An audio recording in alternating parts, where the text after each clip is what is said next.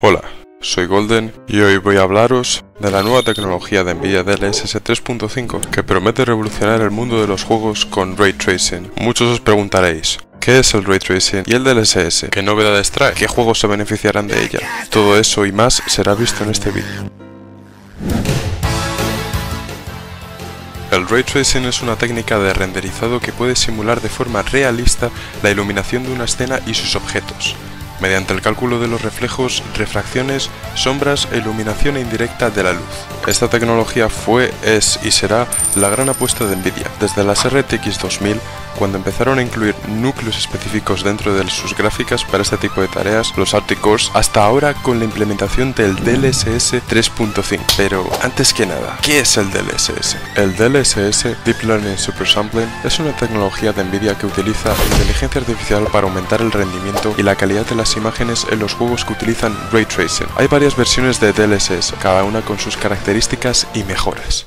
DLSS 1.0 utilizaba redes neuronales específicas para cada juego, lo que requería mucho trabajo de los desarrolladores. Además, las imágenes reconstruidas podían tener borrosidad, artefactos o pérdida de detalle en algunos casos. DLSS 2.0 utilizaba un modelo único de IA para todos los juegos, lo que simplificaba su implementación. Además, las imágenes reconstruidas eran más nítidas y detalladas y consistentes que en DLSS 1.0. También se introdujeron tres modelos de calidad, rendimiento, equilibrado y calidad, que permitían ajustar el balance entre resolución y rendimiento. Luego tendríamos DLSS 3.0. Utilizaba una nueva técnica llamada DLSS Super Resolution, que permitía escalar las imágenes hasta 16 veces su resolución original, sin perder detalle ni nitidez. Esto se conseguía mediante el uso de una IA que generaba nuevos píxeles a partir de los existentes, creando imágenes de alta resolución a partir de imágenes de baja resolución. Además generaba frames entre medias, así aumentando una gran cantidad de fotogramas en los videojuegos. Sin embargo, esta técnica no estaba tan pulida como esta nueva. DLSS 3.5 no solo es una mejora del anterior DLSS, con una nueva IA mejor entrenada con una red neuronal, sino que también es una mejora que implicará una nueva reconstrucción de rayos que mejorará el ray tracing visto, gracias al uso de una nueva característica llamada Ray Reconstruction. Primero tenemos que entender los pasos que sigue el DLSS y el ray tracing, no todo va de seguida. Es como verte este vídeo. Empiezas a verlo, dices, este tío tiene carisma y me informa, cortita y al pie. Te suscribes, terminas de ver el vídeo y das like. Pues lo mismo con el Ray Tracing. Una imagen con Ray Tracing es calculada de la siguiente manera. Primero, el motor del juego tiene generados los materiales y la geometría de la escena. ¿Pero qué pasa? Que eso no nos dice cómo se ve la escena. No hemos calculado todavía cómo interactúa la iluminación con la escena. Para calcular la imagen final con Ray Tracing, lo que hacemos es lanzar rayos de luces en la escena para ver qué pasa ver cómo se menea el ambiente, como quien se da una vuelta por la discoteca al principio de la noche, para ver la fauna. Al igual que no le entras a 5 tías al principio de la noche, no lanzas 35 miles de millones de rayos, lanzas unos cuantos rayos porque hay muchos píxeles y porque hay huecos que no se rellenan correctamente. Para solventar este problemita utilizamos los denoisers, eliminadores de ruido. Hay varios denoisers por cada fotograma combinando información de los píxeles y fotogramas acumulando información entre los distintos frames, así consiguiendo la mejor estimación de cómo se va a ver la escena. Hablando de denoisers, estos tienen un par de ápices que enfrentar.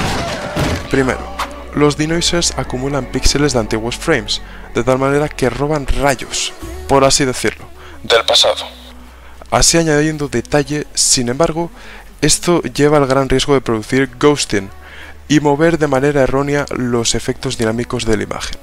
Segundo problema, pueden los reflejos verse mermados en detalle, porque el denoiser habrá podido fundir información del fotograma.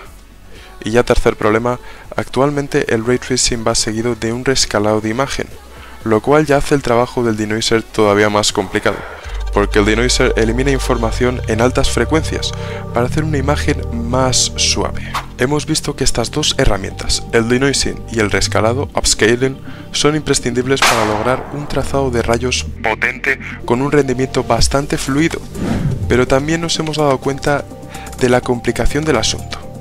Es aquí cuando entra el uso el DLSS 3.5 utiliza un nuevo modelo de IA en el que une estos dos procesos, de tal manera que solo tenemos que enterar un modelo, que sea capaz de usar toda la información recibida para poder resolver estos dos problemas de manera conjunta. Gracias a el Ray Reconstruction DLSS 3.5 consigue hacer el upscaling y la construcción de rayos todo en uno. Veamos cómo se menea este modelo. Primero analizamos cómo revienta a los denoises anteriormente mencionados. Este modelo está entrenado con hasta 5 veces la cantidad de datos que DLSS 3, lo que lo hace más preciso a la hora de construir la imagen. Esto es necesario debido a la gran cantidad de formas y zonas donde golpean los rayos. Este modelo ha sido entrenado para reconocer gran cantidad de distintos efectos del ray tracing. Así consigue hacer decisiones más inteligentes sobre la lectura de los píxeles de la imagen. Y es que encima mantiene esas altas frecuencias que perdíamos con los denoises, ¿os acordáis? De tal manera que no perdemos la calidad y la precisión de la imagen a la hora de hacer el reescalado. Ahora veamos cómo el Ray Reconstruction del DLSS 3.5 genera mejores efectos de luces, gracias a que este modelo está entrenado con un dataset bastante más grande que el que puedes conseguir en un tiempo real, es decir, está entrenado con un dataset offline, el modelo es capaz de reconocer una mayor cantidad de patrones lumínicos. Luego, esta información la usa para construir una imagen bastante más realista. Vamos, que el DLSS 3.5 con su tecnología de IA Ray Reconstruction no solo crea mejores imágenes y efectos lumínicos con mayor nitidez, sino que encima reduce el. En corto, DLSS 3.5 te proporciona varias herramientas potenciadas con IA que te permiten mejorar el rendimiento, la calidad de la imagen o las dos. Todo esto gracias a los Tensor Cores de las gráficas RTX. Lo importante, sigo de esta tecnología está de puta madre, pero ¿en qué gráficas vamos a poder utilizar este bicharraco?